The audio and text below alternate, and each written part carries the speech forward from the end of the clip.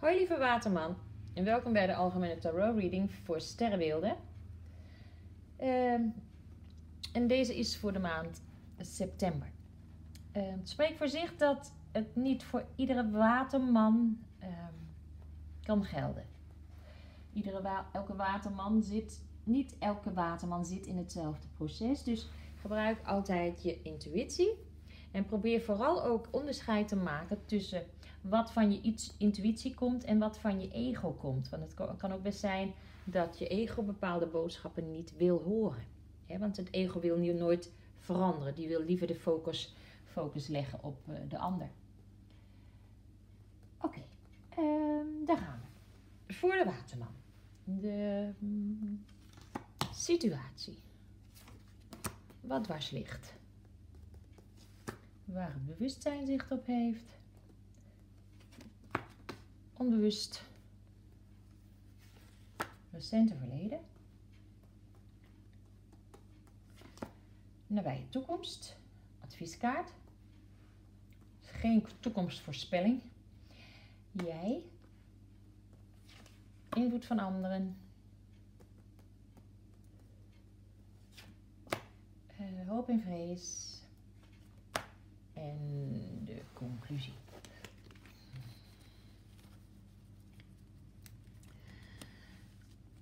De leidraad voor deze waterman is change.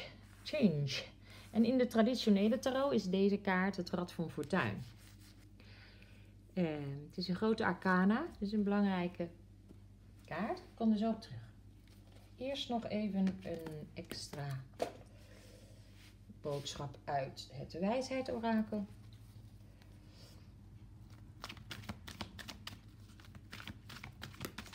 Nou, daar heb je hem al. Mooi. Oké.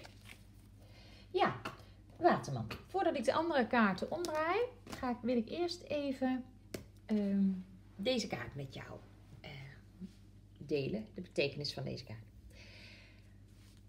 Wat je hier ziet is echt eigenlijk het levenswiel. Hier, hier zijn ook alle sterrenbeelden uitgebeeld. Hè, de, de symbolen daarvan. Hier zit het yin-yang teken. Dus wij hebben een bepaald, ieder mens heeft een bepaald uh, levenswiel. Een bepaalde blauwdruk. Um, en in dat levenswiel is het eigenlijk de bedoeling dat we onze, ons karma inlossen. Uh, dat we onze levenslessen leren. Dat we onze wonden uit het verleden helen. En dan gaan we weer, dan krijgen we change verandering, transformatie die ik hier ook heb liggen. Allemaal met het doel om weer bij integratie te komen. Van yang en yin, dat is de kern, dat is de essentie. Yang is je mannelijke energie en yin is je vrouwelijke energie. Want daar lopen wij namelijk bij vandaan. We lopen steeds, vanaf dat we geboren worden, lopen we bij ons ware zelf vandaan. Ons goddelijk zelf. Dan gaan we in ons denken functioneren en krijgt yang vaak de overhand. In dat levenswiel krijg je steeds ook ervaringen. En als jij nou in jouw leven het idee hebt dat jij steeds een bepaald patroon aan het herhalen bent, dan is dat een kans om tot verandering te komen. Als je namelijk steeds met dezelfde thema's in je leven te maken krijgt, kan zijn dat je steeds het gevoel hebt dat je afgewezen wordt. Steeds het gevoel hebt dat jij verlaten wordt. Steeds het gevoel hebt dat jij faalt. Patronen die zich herhalen. En dat kun je, zien, kun je zien in je levenservaring. Het kan zijn dat je heel graag een relatie bijvoorbeeld wilt, maar dat je blijkt dat je steeds het thema verlaten of verlaten worden herhaald.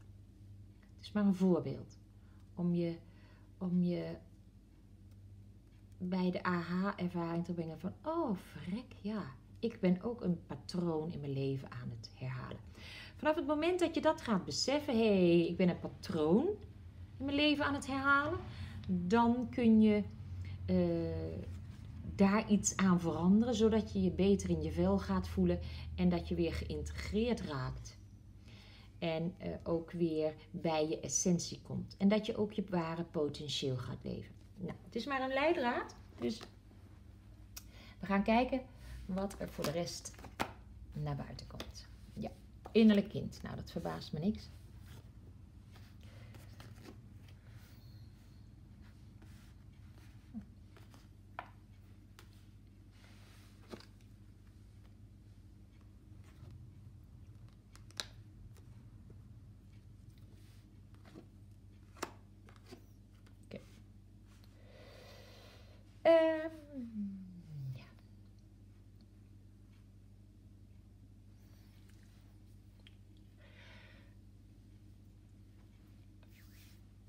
Ik ga eerst naar het recente verleden.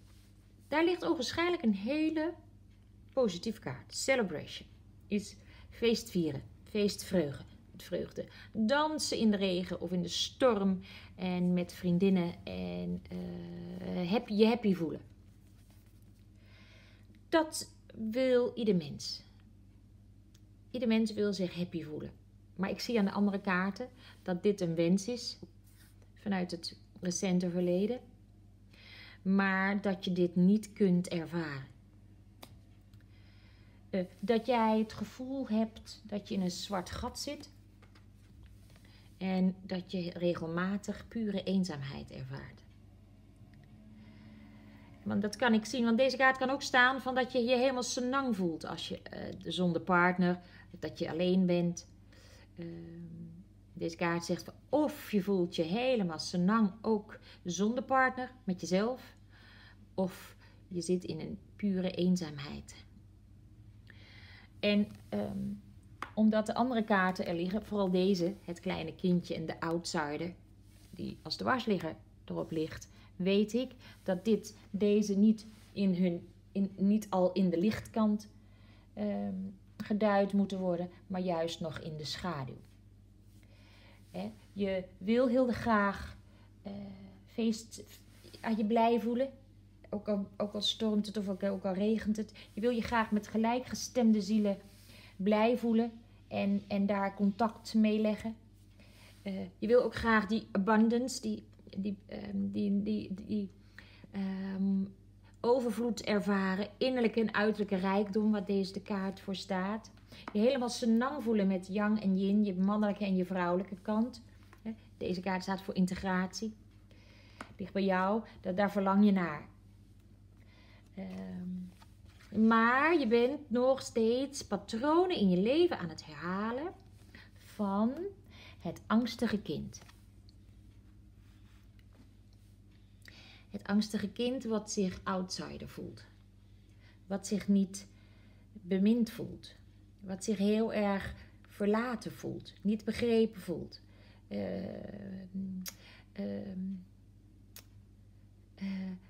het thema, waarschijnlijk herken je dan van ik voel me niet begrepen. Of ik voel me in de steek gelaten door mensen. Ik voel me zo verlaten. Ik voel me zo uh, alleen. Ik ben alleen. En ik voel me zo opgesloten. Achter een hek.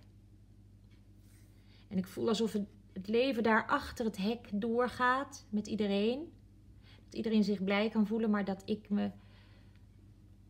dat ik maar achter dat hek blijf. Terwijl het slot, zoals je hier ziet, ja, het is moeilijk te zien, maar dit slotje is niet dicht. Alleen het kind weet niet hoe hij het moet openen om het hek open te gaan, open te doen en de regenboog tegemoet te gaan. Maar je kunt de regenboog pas tegemoet gaan, lieve waterman, als jij de reis gaat beginnen van transformatie. En dat jij bereid bent om in het onbekende te worden gezet. En in ook in helemaal alleen zijn worden gezet. Om juist die eenzaamheid de pijn van dat kindje te kunnen doorvoelen alsnog. Te verwerken oude conditioneringen in, jou, in, het, uh, in de nabije toekomst te verwijderen. En dat je weer in jouw ware kracht gaat staan. Zodat ook jij tot bloei kan komen. Helemaal tot bloei kunt komen. Dat je innerlijke en uiterlijke rijkdom kunt ervaren, kunt voelen, overvloed kunt ervaren.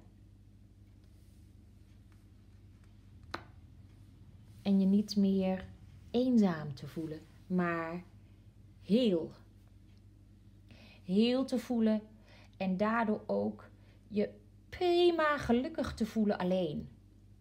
En dat je ook als je alleen bent, dat je uh, niet zozeer een partner nodig hebt, maar dat je ook enorme feestvreugde kunt ervaren met gelijkgestemde zielen. En maakt het niet uit wat voor weer het is, of het nou stormt of regent. Het leven is een feest en mag gevierd worden. Dit, lieve waterman, ervaar jij nog als een zwart gat. De duisternis. Terwijl deze kaart eigenlijk wil zeggen, je wordt expres in, die, in dat onbekende geduwd door je ziel. Omdat, om, om, om jou uiteindelijk bij, tot die, bij die transformatie te laten komen. En om je eindelijk jouw beperkte identiteitsgevoel over jezelf los te gaan laten. Deze kaart, conditioning, die gaat over een metafoor over een welp die in de steek is gelaten, hè? dus verlaten is, hè? zoals ook dat kindje.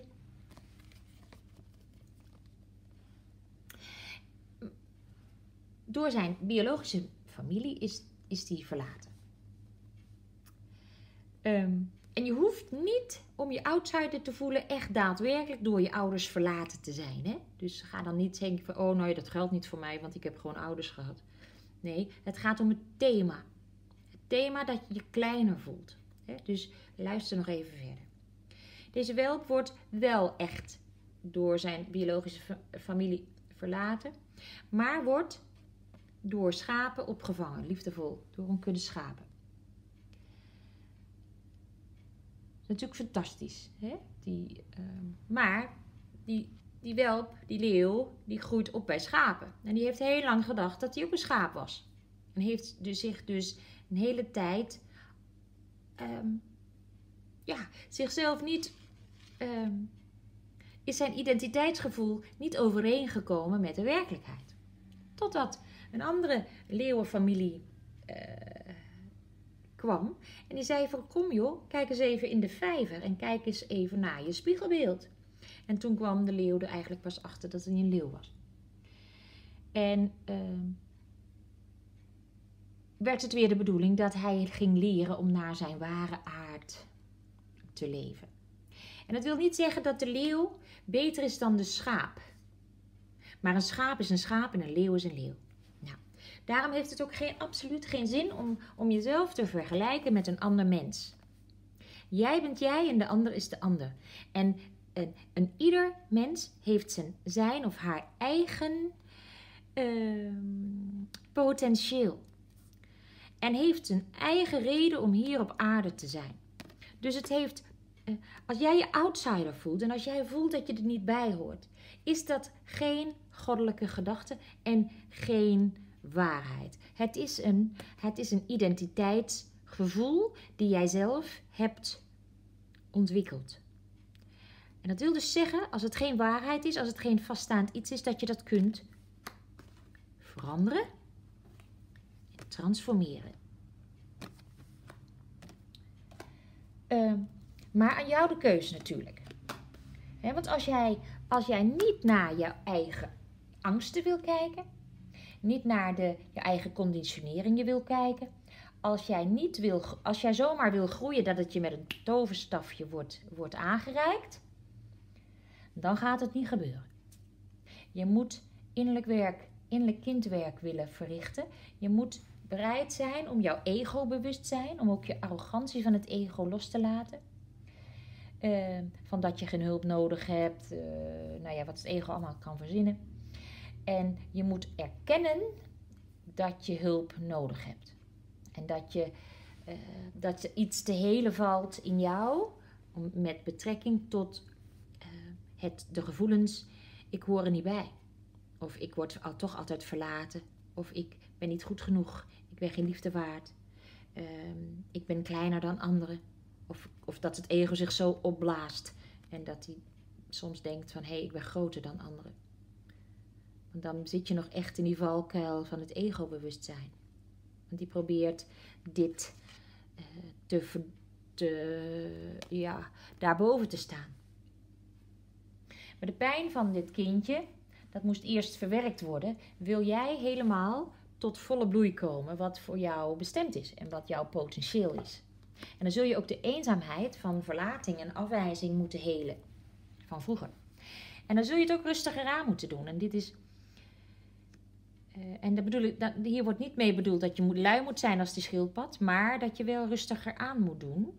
En dat je uh, bereid moet zijn om stil te zijn. En om ook stil te staan. Letterlijk stil te staan bij. Um, ja, waar ben ik nu? Waar sta ik nu in dat levensrad?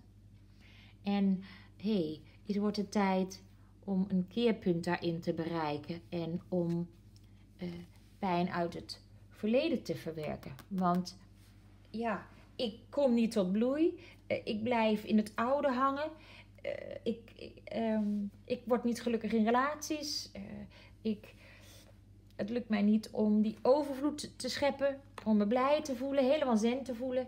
Dus ja, als dat zo is, ja, is er nog echt sprake van het angst voor het onbekende voor het zwarte gat. Dan is er nog regelmatig eenzaamheid.